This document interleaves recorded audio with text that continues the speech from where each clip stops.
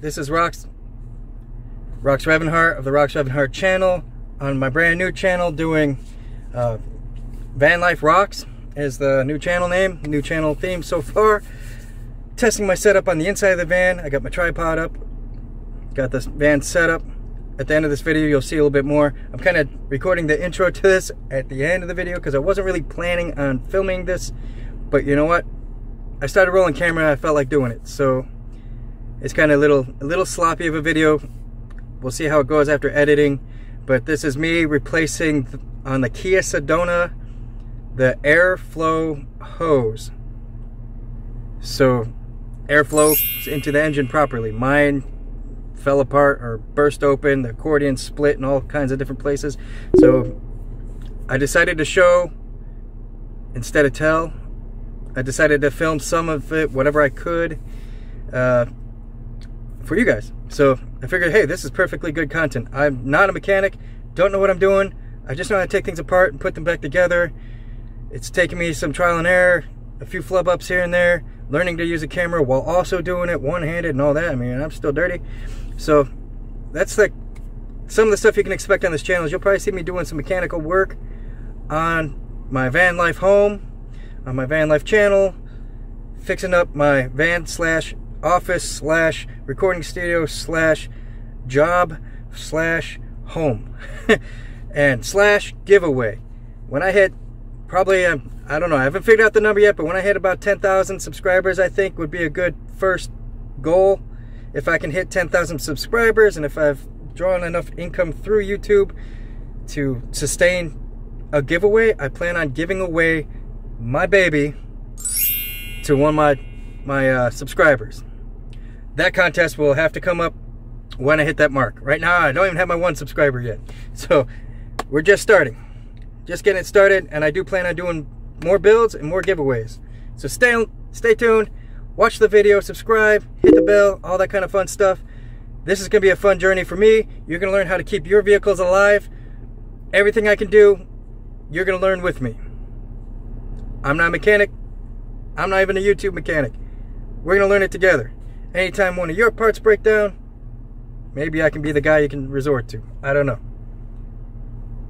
Check it out. Thank you for watching. See the footage. Rox replacing the Mac or the airflow. Uh, blah, you know, forgot what I was saying. The airflow hose. Oh man. Welcome to another episode of Van Life Rox is my new channel as I'm calling it now. The Crimson Avenger has been down all day because I was getting an error code that let me know that the uh, that the airflow hose has been destroyed. I'll have to pull up that code on the screen because I can't off the top of my head remember the code. But my accordion, or the airflow, air intake hose or whatever, is just destroyed.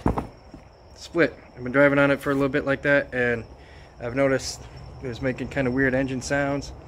So we had to do some work on it. Ooh, sorry. Let's uh, see if I can show off the engine. So I took off the the uh, airflow hose, and we're gonna do a little bit of work on it. Cool? Yeah. So this is the Kia Sedona, the 2006 Kia Sedona Crimson Avenger. I'm sorry we're doing this at night. It took me all day to get the part. So, off. Get dizzy with me. Woo! So anyway, we're kind of doing this channel with a new format. I've done a few videos for the van life of the Crimson Avenger. This is kind of the first video I'm doing on this channel for uh, from now on. Going forward so my audience isn't divided you can find me on my main channel which is more taboo content vlog style stuff. But this is going to be my channel where you see me fixing things fixing cars fixing van life vehicles for my audience. So the Kia Sedona the Crimson Avenger has lost its airflow so we're gonna fix it. Let's do that up so, before I put the air intake hose back on, one thing I wanted to do was since I have it open, I might as well add some carbon throttle bottle, body cleaner and clean out the, the throttle body. Makes sense, right? So we just, oh, shit, lost the little hose thing. Look at, just go without the hose. You just want to give it a nice little squirt. Know, get all that dirt broken up. I mean, look how filthy it is. And then kind of just clean her up. Get in there and clean it up. I mean, it's pretty nasty in there. Oops, it'd help if I'd film it. You know, when you're doing van life, you've got to keep your vehicle in tip-top shape. The more shape you take care of your vehicle, the longer it will last. And these are not just your cars anymore, these are your homes, right? So, let's see if I can get it. Yeah, there we go. This kind of requires two hands. As you can see, kind of open her up a little bit. Just a good cleaning will help make it run a whole lot smoother. Let's give it a nice spritz. Nice little spritz. And get our fingers in there. Clean her out.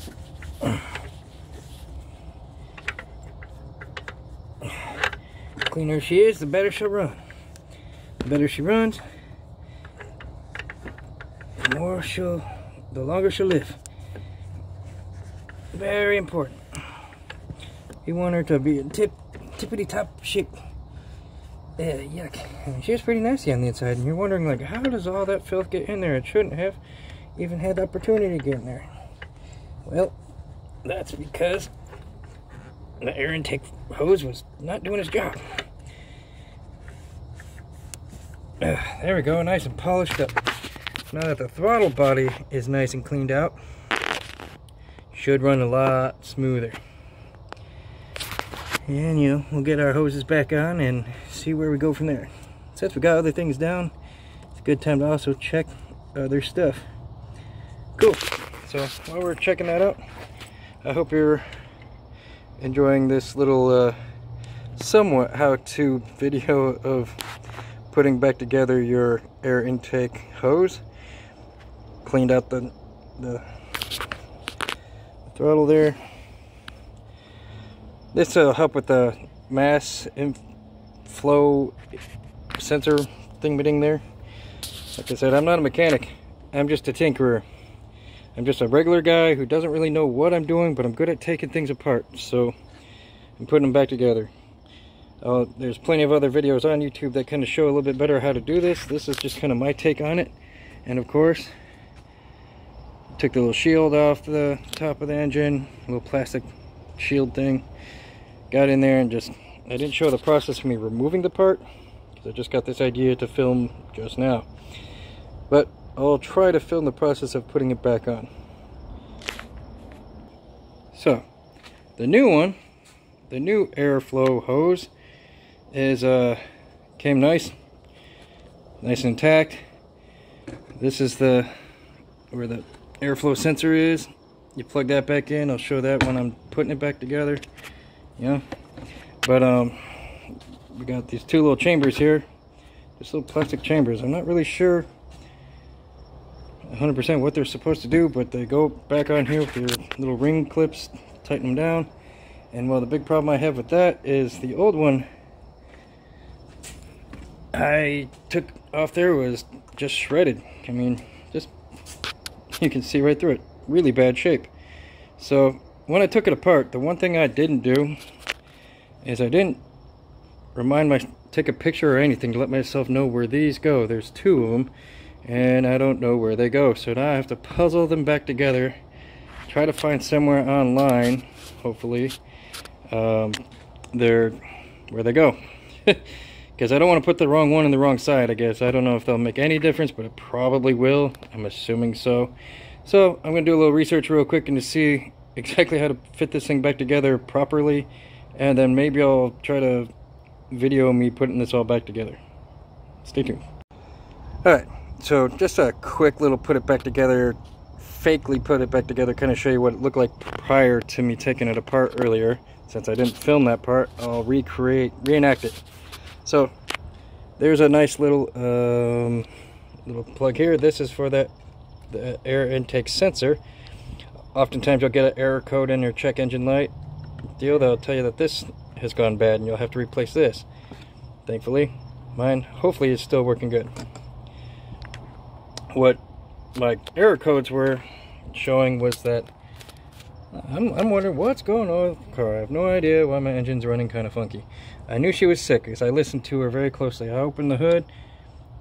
I'm like, oh crap, look at that big split, big split. And as I removed it, I discovered she was split in multiple places. I'm like, no wonder there's no air getting to my engine. So what that's doing to the engine is like flooding it, I believe, or just making the oxygen not mix well with the you know the combustion and all that so there's no uh, no good flow going in the engine either flooding it I think it's making it what I heard is called rich making it rich making the oil or the fuel rich burning it kind of funny so the symptoms the vehicle was having was kind of like it felt like the throttle was going vroom, vroom, vroom. it was like it's giving it gas when I wasn't wanting it to which is kind of dangerous I'd assume I mean I drive with caution with my foot ready on the brake whenever I need to, but it was still pretty a scary drive. So that's my reenactment. I took the tools, pulled the hose off, discovered she is destroyed in multiple places. So we're going to throw the new one back on. Alright, so now I've got the new one all put together. I got the little pieces clamped back on. And we're about to connect the hoses and connect the ends to where they belong and um, try to do that one-handed holding the camera. Let's see how well this goes. So we'll start with this end, and it might be a little snug. You gotta get things to kind of squeeze where they belonged. And see how at the top there's these two little spiky looking things. Those are supposed to kind of fit on each side of this. So it kind of tells you. It's a nice little handy feature. Let you know if you're doing something right or doing something wrong. So loosen this up a little bit more. Loosen this up a little more, and then try to squeeze. Come on, come on. Yeah, I'm gonna need two hands for this, so give me one moment. So, yeah, it took me two hands. but now I can tighten her up. So, take just regular screwdriver. You could use Phillips, I'm using a flathead, whatever. And then just righty tighty. Tighten her back down. I'm right-handed, so this is kind of tricky for me. It, yeah. Yeah. It took me about 10, 10 or so minutes to figure out where all the parts went. I couldn't find a very good diagram online. But it's kind of important to make sure our pieces are snug into where they belong. And see, I kind of missed the gap there, so we're gonna loosen her back up and go, try again. I don't, I don't feel like I lined it up right, so we'll try this again. One second. So, yeah, we got that side down. Now we're just gonna have to fit this side on, on uh, to the actual airflow and airflow sensor. Now, this is goes on the box. I find it's easier to take it apart and then put it together and then clip everything down. So that's what I'm gonna do. And it's gonna be kind of hard to show it, so I'll be right back. All right, so that was a little bit of a struggle, but we got her. If you go up around the corner, that's where her screw is. Uh, kind of clamp her down by hand. But let's clip it, clip it in the box first.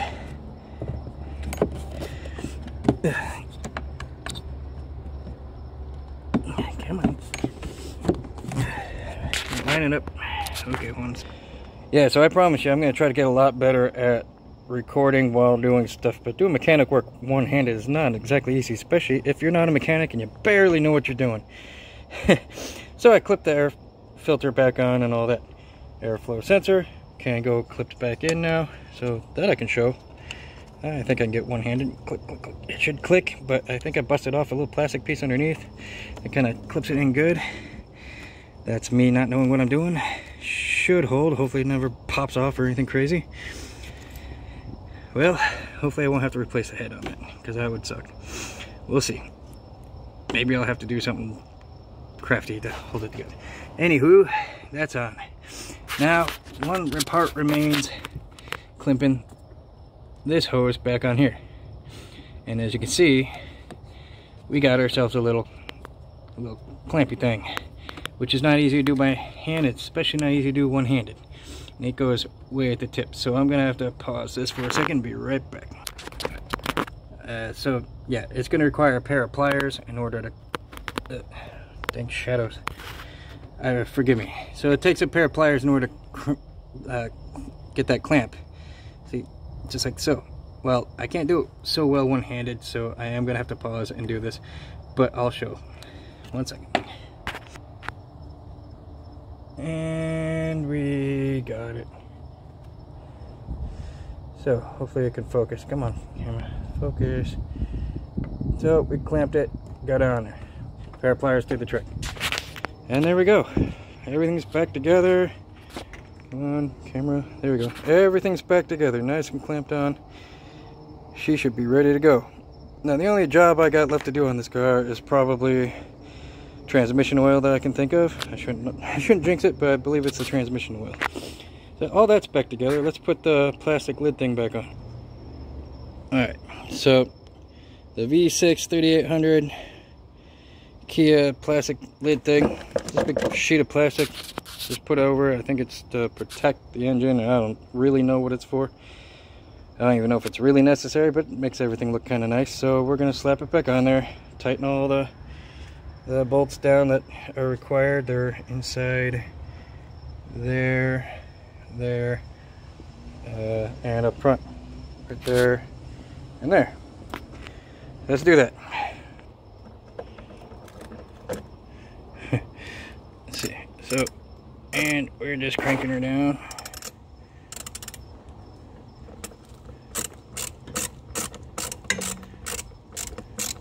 It's one way to do it one-handed, you know what I'm saying? There we go. Ah, and we're tight. Cool. And she's back together. I'll remove all the tools off her and pick up any remaining pieces, clean her up, and close the lid, and we're ready to go. All right, now for the moment of truth. Are the check engine lights gonna come back on? I don't know. Let's kick her over. Oh, that sounds much better than earlier. Okay, a little high rev. Give her a minute.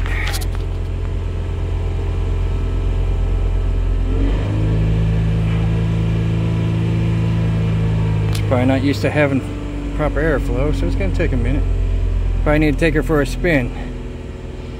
Anyway. Oh, she sounds better. Oh, she's she's running much better now.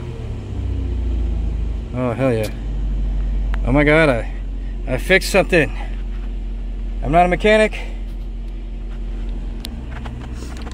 All right, so this is Rox of the Van Life Rox or Rox Revenhart. Um, we did it. We started her. Everything works fine. Check engine lights off and the codes are no longer firing off. How awesome is that? Work. I'm not a mechanic. I've never been to mechanic school. Don't really have a huge idea knowing what I'm doing, but when your house is your or when your when your vehicle is your also doubles as your home, it's very important to maintain all the little stupid things in your engine. I will probably be doing a lot of that on this channel. I'm sorry if the lighting's really bad. Uh, I started this video in the day. I mean, I didn't record it in the day, but I started working on this in the day and we lost daylight, so forgive me. Um, this is a 2006 Kia Sedona rebuild of the airflow uh, hose that broke down. Uh, hopefully, I mean, I kind of explained a little bit. I know there's other better uh, videos out there, probably. I mean, that's how I learned. so this wasn't so much about showing how to do it as it's just an intro to knowing to make sure you take care of your stuff. And don't ignore that check engine light. You ignore it for too long. I ignored it for a little bit and I think that's what made it worse until I got two error codes and I was like, all right, I better uh, do something about this, you know what I'm saying? So I'm like, ah, yeah, let's, uh, let's fix this. so that's what I did today. I was like, I just kind of had a bug up my ass and decided I'm gonna read those codes and actually search what they mean. First video that pops up is only like two minutes long and I'm like, all right, let me watch it. Oh, wow, you just look at the hose. I pop my hood, I look at the hose. Oh, sure enough, my accordion hose is split in like five different places. I'm like, holy shit, no wonder my car is running like hell. All right, $30 later, new part, not too expensive, $30 at the nearest auto parts store. Called around a couple shops to find one that actually carried it, which, you know, that worked out. Uh, that being said, put the new part on.